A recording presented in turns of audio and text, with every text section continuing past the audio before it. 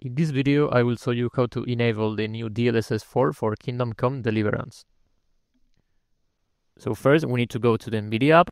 You will probably have this installed by default. If not, you can go to the NVIDIA website and download it from there. And now from here, we need to go to the graphics settings. And here now we need to find the game. For for now, for us is Kingdom Come. Okay, here, so as you can see, we have different settings we can tweak but we want to change one setting and this will be the model preset.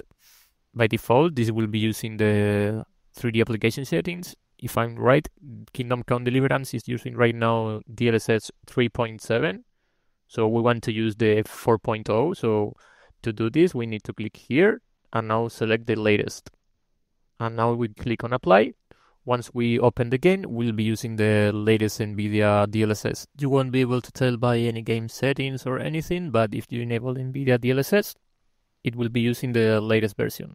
So yeah, that's pretty much it. If you like the video, leave a like and subscribe. See you next time.